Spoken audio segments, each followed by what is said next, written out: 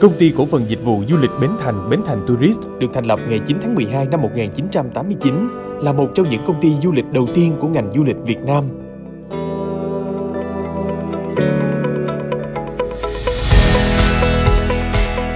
Không ngừng lớn mạnh trong suốt thời gian qua, Bến Thành Tourist đặt mối quan hệ với hơn 120 hãng lữ hành và đối tác quốc tế của 40 quốc gia, vùng lãnh thổ,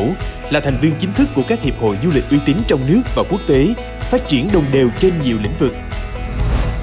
Lữ hành, bất động sản, đầu tư tài chính, thương mại, vân vân. Hệ thống cơ sở dịch vụ và kênh phân phối sản phẩm ở các vùng du lịch trọng điểm trải khắp ba miền Bắc, Trung, Nam.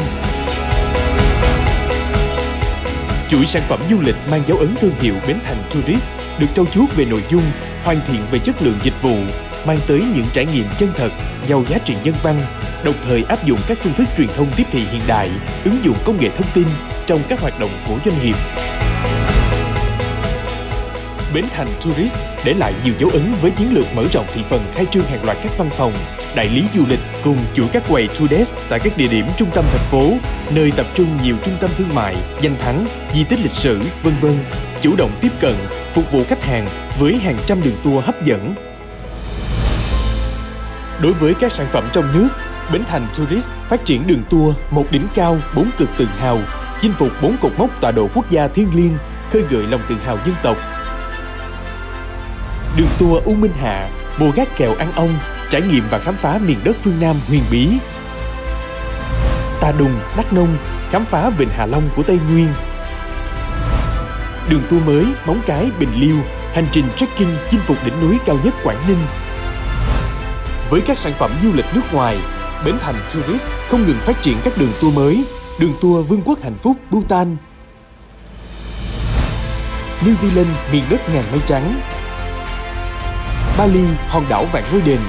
tour cao cấp thiết kế riêng cho các nhóm gia đình. Các chiến lược truyền thông gắn liền với hình ảnh các KOLs nổi tiếng, MC Phan Anh, MC Thanh Thảo tạo được tiếng vang trong thị trường du lịch và truyền thông thương hiệu. Qua đó, Bến Thành Tourist đã thành công thực hiện các đoàn tour có quy mô lớn như 2.800 khách của công ty For Orange, 2.300 khách thương hiệu Oriflame, 1.500 khách công ty Gross Beckett Việt Nam và các đoàn khách lớn từ Samsung, Daiichi, vân vân. Đối với các sản phẩm du lịch inbound, Bến Thành Tourist phát triển các chuỗi sản phẩm đa dạng được du khách quốc tế yêu thích như tour liên tuyến ba nước Đông Dương, thiết kế sản phẩm riêng biệt gói dịch vụ với hình thức tour ghép, linh hoạt, giá tiết kiệm, tạo sự thuận lợi cho du khách quốc tế. Đối với sản phẩm du lịch MICE, Bến Thành Tourist phát triển rất thành công loại hình du lịch MICE, du lịch kết hợp hội nghị, hội thảo, khen thưởng, tổ chức thành công nhiều đoàn MICE lớn của Việt Nam với quy mô trên toàn quốc và với số lượng lên tới hàng ngàn khách. Nhờ đó được đánh giá là một trong những đơn vị tổ chức tour du lịch MICE có năng lực hàng đầu Việt Nam. Qua hơn 30 năm hoạt động, Bến Thành Tourist đã đạt được những thành tựu đáng tự hào. Doanh thu năm 2019, 1.000 tỷ đồng, tăng gấp 34 lần so với ngày đầu thành lập.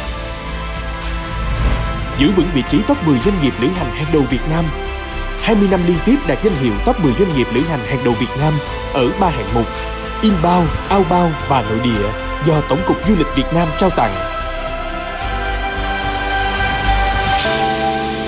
Bến Thành Tourist luôn nỗ lực cho những hành trình mang hạnh phúc chạm đến trái tim hàng triệu du khách.